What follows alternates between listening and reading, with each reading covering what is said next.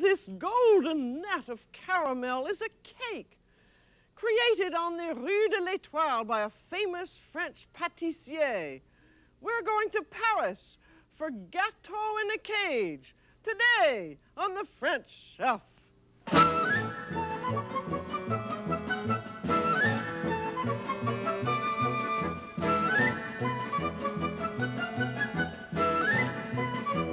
The French Chef is made possible by a grant from the Polaroid Corporation. Welcome to the French Chef. I'm Julia Child.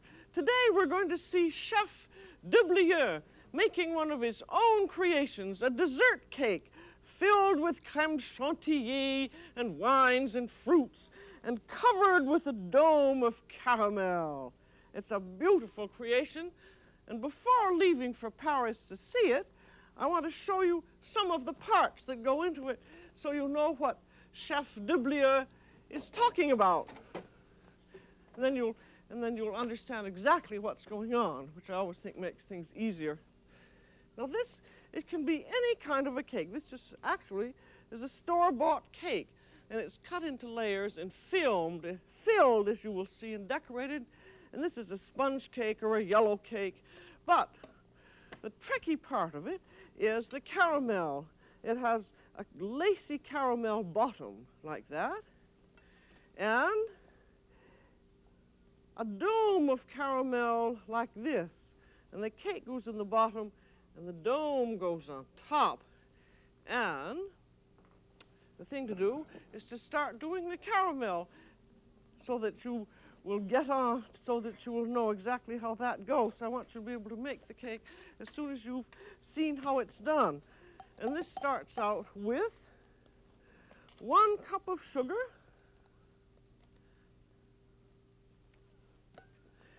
and one third cup of water. I'm going to use hot water here.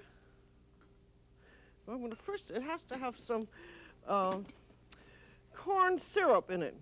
And the corn syrup, what they say in France, greases the sugar, or in other words, it makes it so the caramel is not so brittle.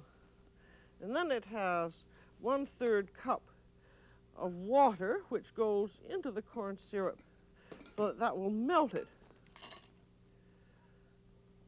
And then all of that goes into the sugar.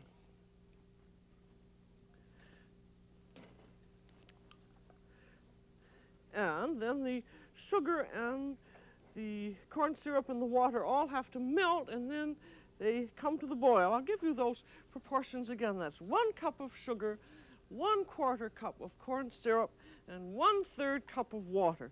And you always have one third the amount is water when you're doing a sugar syrup because that makes the sugar melt properly.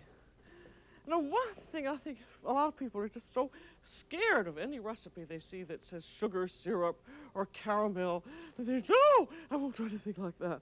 And that is, I think this is one of this, this awful American syndrome of fear of failure. And if you're going to have a sense of fear of failure, you're just never going to learn how to cook because cooking is, well, lots of it is one failure after another, and that's how you finally learn. For instance, you've got to have developed what the French call je m'en foutism, or I don't care what happens, the sky can fall and omelets can go over all over the stove. I'm going to learn. I shall overcome. It's sort of woman's liberation and I mean, everything like that. If you're not going to be ready to fail, you're not going to learn how to cook. That's what that little lecture is all about. But uh, who, nobody, for one thing, nobody knows exactly what you intend, so you can serve them one of your failures, and they maybe think that's what you intended. So in other words, learn how to make sugar syrup, or you won't learn how to make this beautiful cake.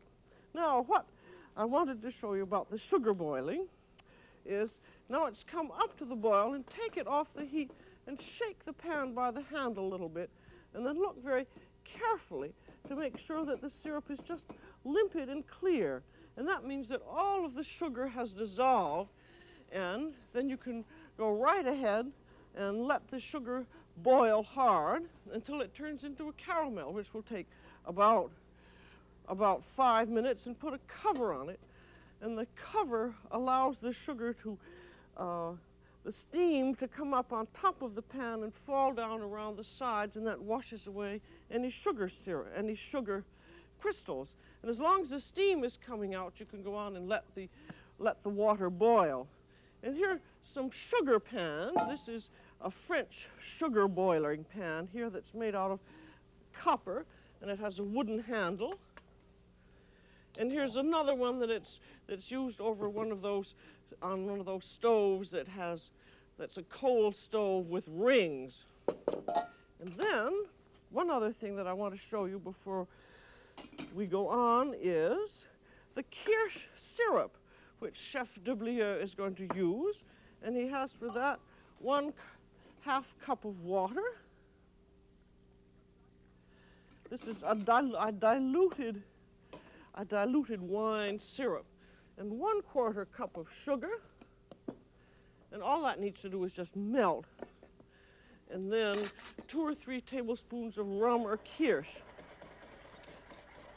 And you will see him, and you will see him sprinkling his cake on. I sprinkle this on his cake, and I'll put in a little bit of kirsch there, and a little bit of vanilla too, about half a half a teaspoon usually. And that's when he speaks of, of his sugar syrup, you'll know what he's talking about. You just let that melt. There's nothing difficult about that. as a matter of fact, this syrup is just the same as a baba syrup when you make a baba or rum, and you can use either rum or kirsch, but you just have the, the sugar along with it. And now, another item in this cake is crème chantilly, which is a French type of whipped cream. And I find that I used to think it wasn't necessary, but I now find it's much better to whip cream over ice. And now that we all have electric ice boxes, we have as much cream as we want. And the French type of whipped cream is lightly whipped, and I mean it's rather like whipping egg whites. And you can either use a great big balloon whip like this, or you can use a handheld electric beater, but you do want to beat air into it, and the electric beater works perfectly well.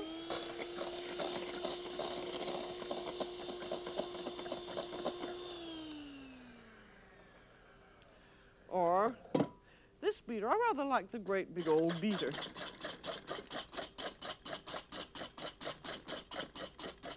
And it takes about five minutes to whip, and you just and I like the idea of this whip because it goes round and round, splattering everything nicely, but doing, it does a very nice job of beating, I think.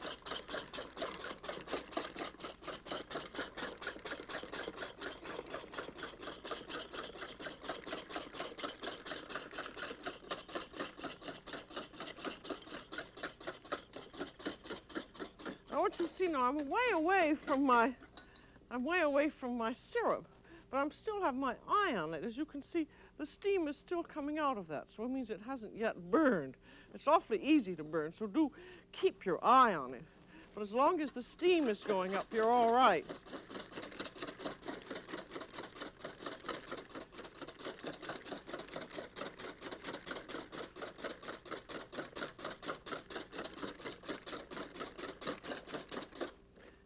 See, this is thicken very, only just very slightly, but you just, you just keep on beating.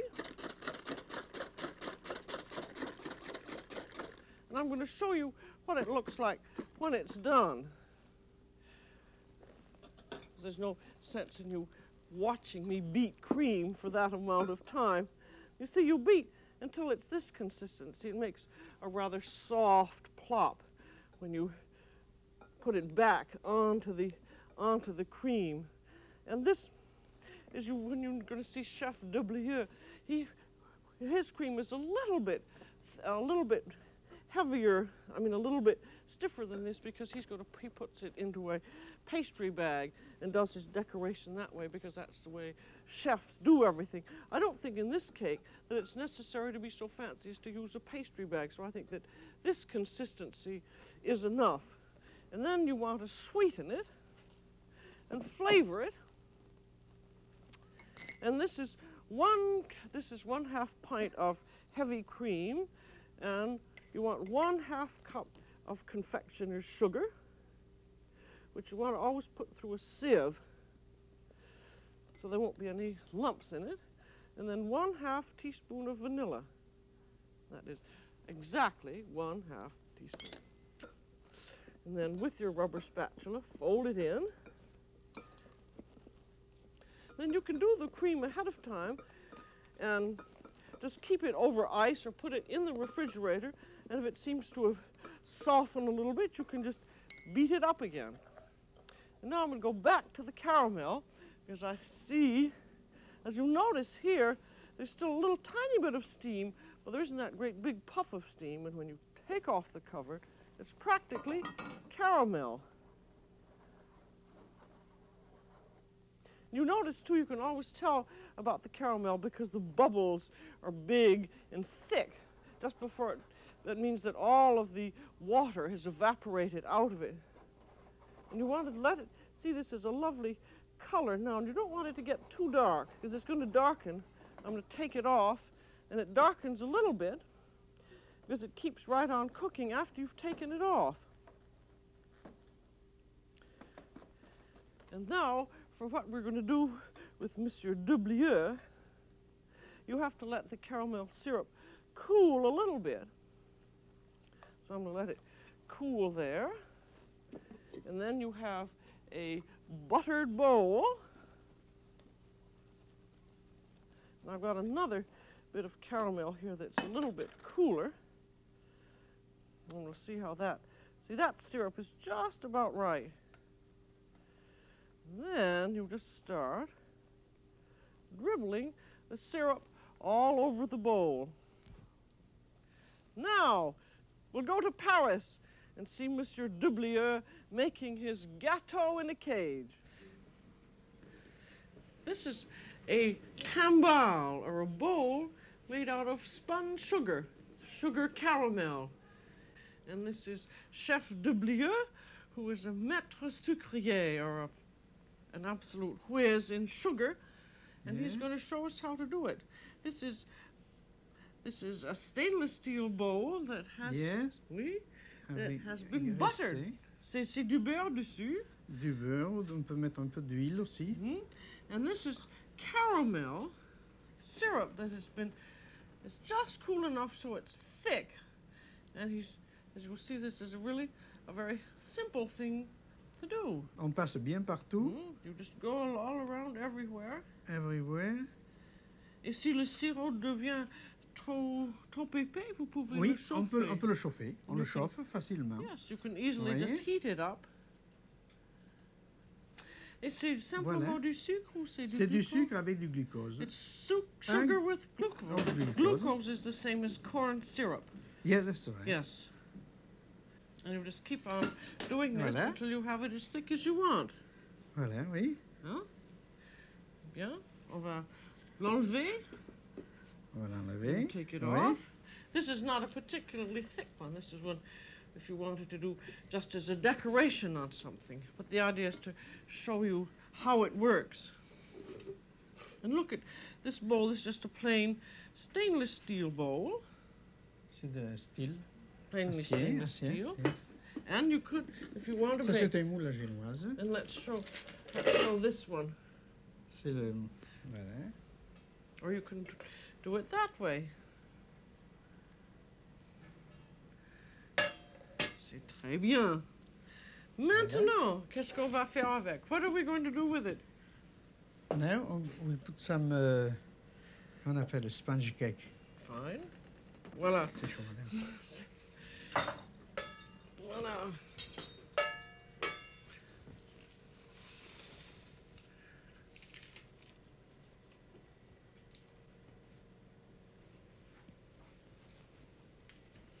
It's out of the way. Now you're making three layers of sponge cake. This could. This, is this a? C'est un C'est du génoise? sirop and this is génoise, syrup. sponge a cake, gin- et de what, what? kirsch syrup. And this is kirsch syrup, which is sugar. With syrup with sugar and kirsch in it. Yeah. A di- di- diluted kirsch, really. And this is to give a lovely, lovely Ensuite, on met de la confiture. And this is confiture de groseille. Non de framboise. This is raspberry jam. That goes on top. Voilà. Hmm. Ça sent bon déjà. Ah oui, ça sent bon. C'est un gâteau- good. un gâteau de saison, ça. And this is the kind of cake you can put whatever is in Voilà. season. Strawberries or in the wintertime if there aren't any Yeah. fresh fruits you could put in.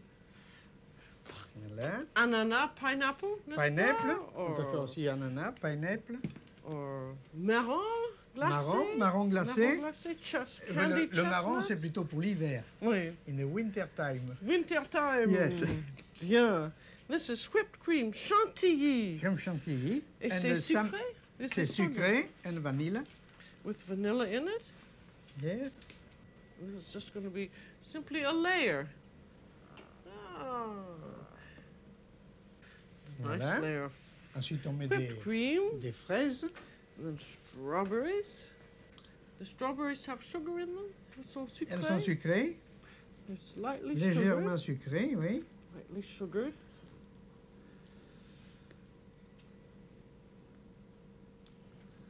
Voilà.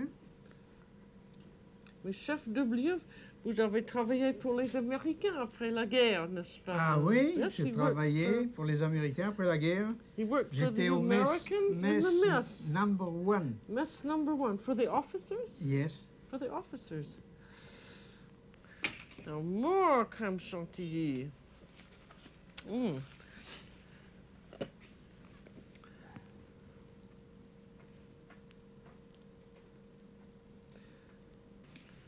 Voilà. There's another. That's a second layer. And some more of this nice syrup.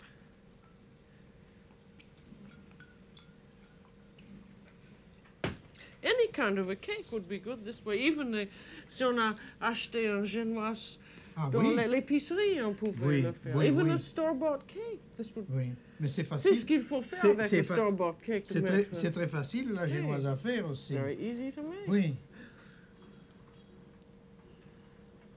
flanqué du sirop dessus et, Et ça voilà. va. Just put on some syrup and there you are. Bien. Voilà. Mm.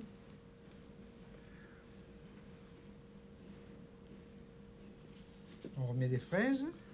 More layer of flowers.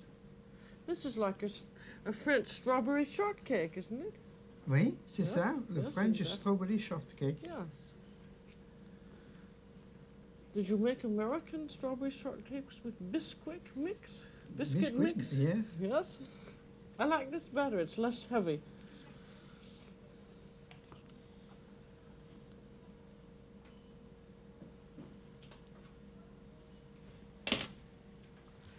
There.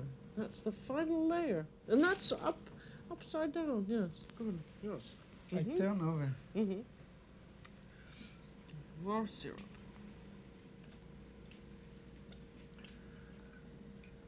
And after I put the top. And then more confiture. More s- raspberry. Raspberry. Is this, c'est simplement du raspberry jam? C'est pas. C'est une, une c'est de la, Vous de la gelée. rien dedans? Non, non, non, non, non. No, it's just Non, plain jelly. Et maintenant, c'est presque C'est terminé. presque terminé. On va donner le, la dernière couche, dernier étage. Dernier étage, la- the last, last story. Voilà. C'est un entremets qui se mange glacé. Il faut le mettre dans le frigidaire. Put it in the frigidaire. Oui. in the refrigerator there. Because it has to be nice and cold before you eat it. Now, more strawberries. And these you have to arrange avec soin. Avec soin, oui. Avec soin. Ça fait le Carefully, décor. 'cause this is the Ça fait le décor, oui. Yes. Oh, c'est gentil, isn't it? Voilà. Comme gâteau. Yeah. Puis c'est un gâteau, c'est assez frais avec des... Mhm. What is nice, it's, c'est vraiment en base assez simple, mais, Oui, mais très, c'est tellement frais. It depends on the good quality of the ingredients, Oui. n'est-ce pas? comme pour tout. juste. Good, Voilà. good goods makes a good cake. On peut faire également le même gâteau avec de la chantilly en hiver et en mettant de la, des marrons glacés. You do not have in French, France, les fruits surgelés. Les fruits, frozen, oui, frozen oui, oui, oui. Oui, oui, Oh, on a do des fruits, on a des légumes. Do you, use, légumes? do you use frozen Oui. fruits every time you Non, use them? Vous-même? non, quelques Vous les employez oui, je l'ai a employé parce qu'il y a des saisons où on n'a pas de fraises, par Mm. exemple, alors on, em- on emploie des fruits surgelés. Mhm. Voilà. Now, Alors, this is the little le... glaze. Oh, yes. Très important Oui, to have it look pretty, n'est-ce pas? c'est très Oui. joli comme ça. Très joli. Mr. Deblieux Quelque is, chose is qui- an artist. Non. Mais oui, il faut. Voilà. Comme, uh, Carême always said that pâtisserie is, architecture is a form of pâtisserie, didn't Ah he? oui, oui, on yes, fait de mais c'est vrai. Voilà. Bien. Oh, and this is little. Oh, yes. That's very nice. You cannot do as nice work unless you have a big posh, and Yeah. I mean a big pastry bag. Like Voilà. Oh, c'est Voilà, c'est charmant. fini. Voilà. Et maintenant, on va mettre le top, madame. Vous allez me passer le, Voilà. le top. Le top. Merci, madame. Isn't Voilà. that lovely? Ça, c'est terminé. Maintenant, il me faudrait les petits pigeons et les étoiles là-bas, dans le petit, un peu plus loin. Ah, voilà. Merci, madame. if you have little, little Je vous montrerai tout à l'heure comment on fait les petits see how oiseaux. you make little birds like that on top. Et puis, on met.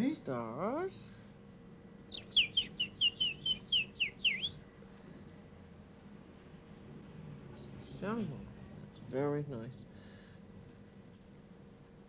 Voilà. Little birds and stars. Voilà. Oh, well, that's charming. Voila. fini. That's all finished. And now you put the whole thing like that in the refrigerator. Yes. For how long? Uh, quarter of an hour. Quarter of an hour, 20 minutes. 20 minutes. Because it would melt. The sugar would melt if you Yes. cut it in too le, long. le sucre fond. Yes. Hein? Fine. Voilà. Good. Voulez-vous, madame Charles, me passer le plateau, s'il vous plaît Que je mette le, le gâteau. Le plateau pour le gâteau. Le plateau pour Le le gâteau.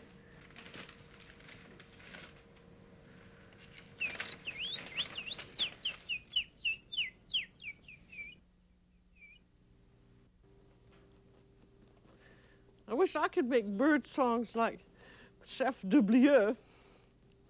But here's the here's the dome of caramel. As you notice that caramel, the, important thing is that the caramel runs like that. It's really like a, a thick syrup. Because you found I've had a I've run into various little problems. And if if the syrup is too hot, because this is a very heavily buttered pan, and if the syrup's too hot, it burns the butter off the pan and then the caramel sticks to the pan. So just be very careful about that. As you notice, I haven't gone all the way down, and this this pan is the edges are still going out, and I found that that helps quite a bit. Because you want the point is that you want to be sure and to be able to get it off, and you have to let it wait until it's cooled just a little bit. I mean, until it's about tepid. And this is the, that's the pan, and then here's the, here's the cake pan, and you use, uh, and the cake pan is heavily buttered. That's for making the bottom. And you may, you may, you may run into problems at first, but if you just be sure that the caramel isn't too hot, and that the pan is very heavily buttered, and you, and if one pan doesn't work, try another one. I've even used, this is uh, plastic, and that has worked perfectly well. And then be sure that you keep your eye and your hands on the caramel, and you want to be sure that you, you have to let it set a little bit, and then as, when it is set, you'll be able to take it off and have the bowl underneath, upside down, and then be push and push just to make sure that it's loose all the way around, which is me, this is sort of gentle urging. I see that it's moving there. But just make sure that it's going to move all around, but very, very gently. And then, very, very carefully, these are quite brittle, holding it that way, setting it down very gently. Then, push again and begin lifting the bowl. And it is loose, and she comes off. And now, I'm going to get the our other our ready cake out of the refrigerator.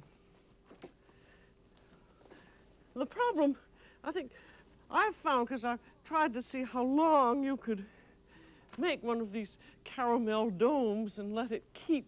And I found that the I, I could put it in the refrigerator and it kept perfectly well for a day. It began to get just a little tiny bit sticky.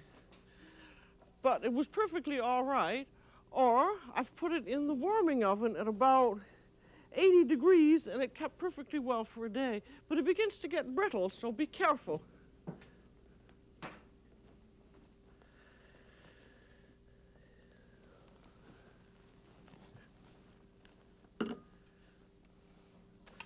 There.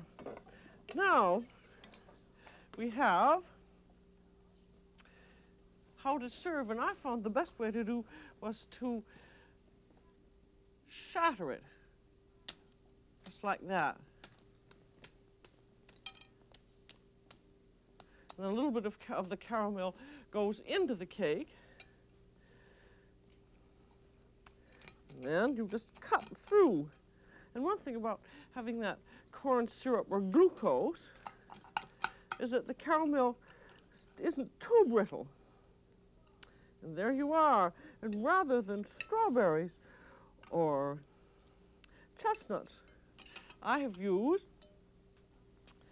I've used some of that Nesselrode and put a little bit of kirsch in it.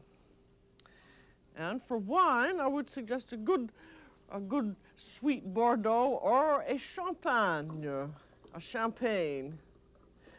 A Chateau d'Yquem would be very nice with this. Chef Deblieux calls his cake the Gâteau des Trois Mages. And when he serves it for Christmas, he puts the three wise men on top. But I call this cake the Gâteau Deblieux. And I love to serve it for Christmas or Valentine's Day or birthdays or on the 4th of July. So that's all for today on The French Chef. This is Julia Child. Bon appetit.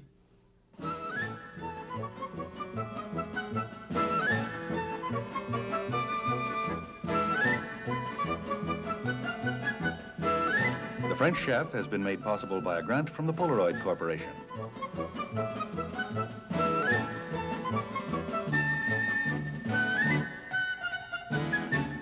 Julia Child is co-author of Mastering the Art of French Cooking, Volumes 1 and 2.